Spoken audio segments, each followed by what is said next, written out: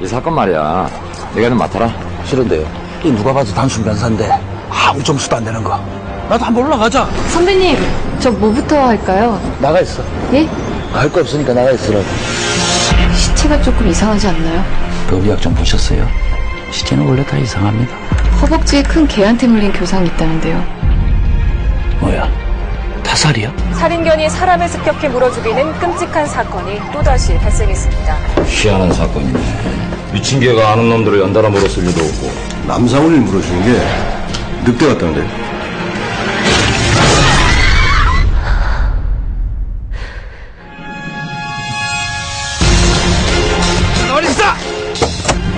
이거 개 한 마리 죽인다고 끝날 사건 아니에요.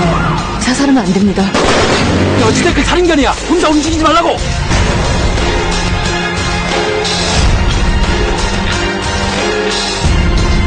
그때게는 어쩌다 살인견이 되었을까.